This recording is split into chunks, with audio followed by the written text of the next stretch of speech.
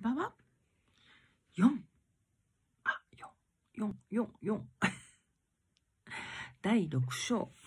社会家庭の変化。P200 ページ。あ、P まだ言っちゃった。200ページです。4、引っ越し先の選び方。私もこの本を読んだ次の日に、数十年住んだところから引っ越すことになりました。もうその時はショックでね、ええー、引っ越すの？でも今は楽しみです。将来、家庭から自立してみんなが一人暮らしを始めると、引っ越しが多くなります。そこで、引っ越し先の探し方、選び方を述べておきましょう。まず、家探しは基本的に自分で積極的に探しに行かない方がいいです。では、どうしたらいいのでしょうか例えば旅行に行き、ふと立ち寄った先でその地、その家が気に入って、そこに引っ越したという、そういう決め方が最高です。ですかまた、友人の家に遊びに行って、いいところだな近くに住みたいと思った、あるいは知人から、こちらに来ませんか？と声がかかったら、旅行感覚で楽しむつもりで見に行くのもいいでしょう。この時、まず目的地の駅に着いたら、駅前の食堂で食事をしてみてください。出された食事が美味しかったら、そのうちはあなたに合っているということです。逆に美味しくなかったらやめた方がいいのです。さらに、目的地に歩いて15分以内であること。ギリギリだわ、私。今度引っ越すとこ。15分かかるかな。13分だったかな。着くまでの途中で道に迷った場合、そのうちはあなたに合っていません。駅からまっすぐでした。そして、そこまで良かったとしても、家の中を見ている最中にめまいがしたり、帰りに玄関がどこか迷ったら、その家はあなたに合っていないということです。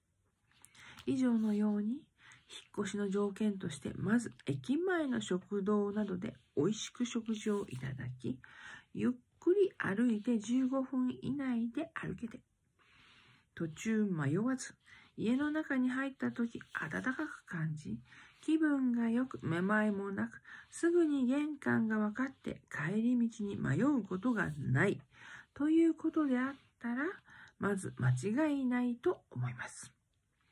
そのようなことを目安にして選ばれるといいのではないでしょうか。引っ越しなんですが、えっ、ー、と、これから今職に出会って新しい仕事増えます。そして新しいサービスも増え、自分がどうしたらいいんだろうどこに行けばいいんだろうってすごく悩まれる方増えてきます。で引っ越しをすることで、物、いらないものを処分するのもあるし、あとあの、自分の生活サイズってやっぱ変わるんですね。広ければいいということではなく、狭ければいいということでもなく、自分に必要なサイズっていうのがありますので、そこに行き着かれたらいいと思うんですよね。うんまあ、私も散々探してしまいましたが、結局決まったところは、もともと決まっていた場所ですね、あれは。今、大家さんが一生懸命内装をきれいにしてくれてます。新築のようなお家に引っ越せますね。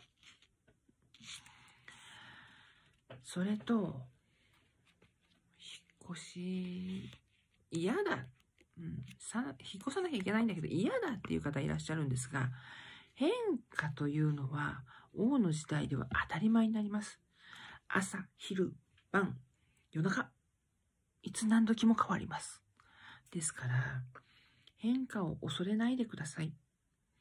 変化を楽しむということが大切かと思います。もうちょっとおしゃべりしていいですか？私の持論ですが、子育て、小さい時にやってほしいこと、変化を怖がらないようにするためには、色鉛筆。色鉛筆の100色とか買ってあげてください。なぜだと思います？赤が5種類ぐらいあるんですよ。赤5種類。わかる？ある子が12色の色鉛筆を持って一生懸命赤を塗るとする。